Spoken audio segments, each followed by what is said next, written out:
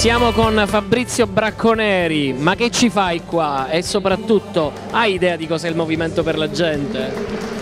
Ho idea e sono anche iscritto al Movimento per la Gente, perché, perché secondo me siamo arrivati alla frutta, anzi proprio al conto.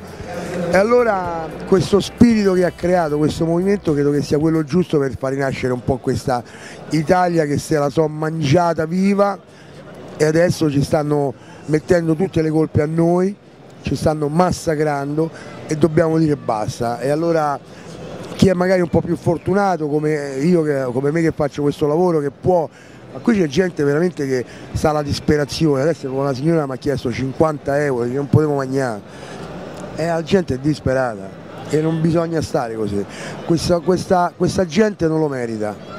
Fabrizio, quanti anni di forum hai, al... quanti anni di forum hai alle spalle? Eh, 15 o 16, neanche mi ricordo. Domanda, la legge è uguale per tutti o no? Allora, la legge è uguale per tutti, sì. ma non tutti siamo uguali per la legge, è questa la cosa clamorosa. Senti voi ogni giorno in tv no, eh, mettete in scena, permettimi questo termine, storie più o meno eh, legate alla, alla, alla, vita di tutti i giorni. No?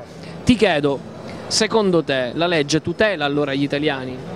No, tutela solo i politici, perché scusami, sono un po' raffreddato, dovrebbero, secondo la mia idea, quelli, quelli, che hanno fatto queste cose, che ci hanno distrutto, cioè loro non gliene frega niente della gente, se rubano i soldi, chiudono gli ospedali, tagliano i soldi alle scuole, a loro non gliene frega niente, ma questi, ma li puoi prendere? sequestrarli tutti e li metti alla disposizione della gente? E dai un bel ventinaio d'anni di galera Ventinaio non è male. Ventinaio non è male. Senti, in Sicilia si è votato da poco, c'è stato un dato di astensionismo pazzesco, però è arrivato anche il caso di dire alla gente comunque di andare a votare.